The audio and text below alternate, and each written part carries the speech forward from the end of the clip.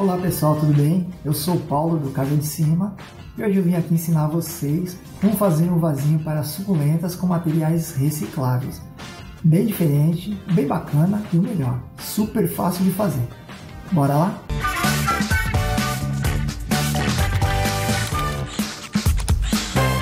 E vamos aos materiais.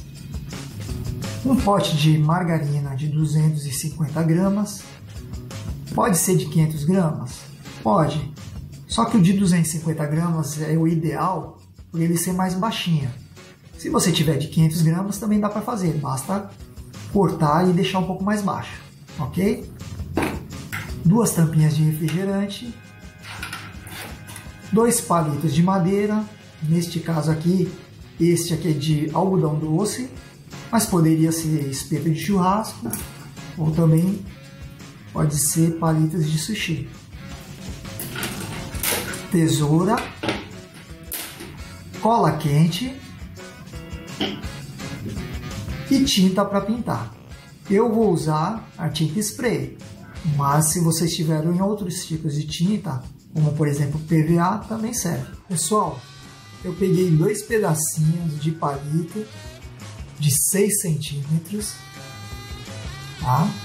E fiz uma marquinha aqui bem no centro. Aí eu peguei o pote e já fiz para adiantar dois furos aqui no canto, ó. E aí eu vou pegar esses palitos e vou encaixar nesses furinhos.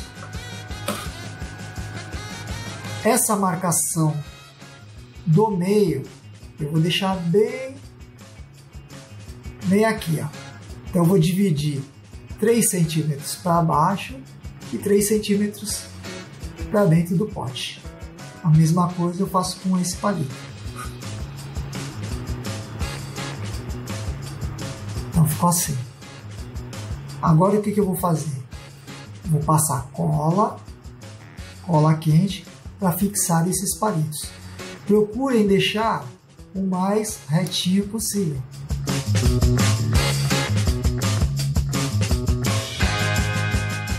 Vou pegar minhas tampinhas pintá-las de preto, porque eu quero que fique da cor dos pneus.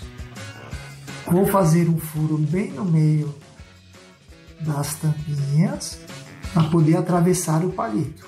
E agora a gente vai pegar os dois palitos de 20 centímetros para colocar no carrinho, na parte de baixo do carrinho, nessa posição aqui.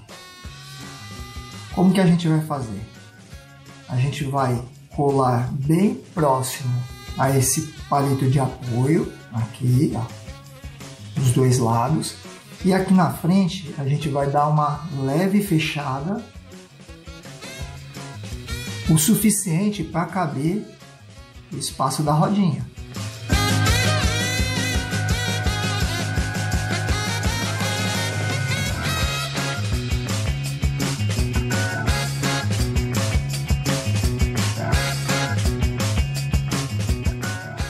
Antes de colar a roda no, no carrinho, o que, que eu vou fazer?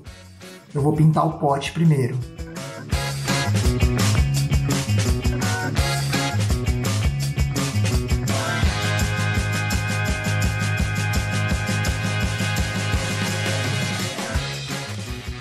E aí pessoal, gostaram do resultado?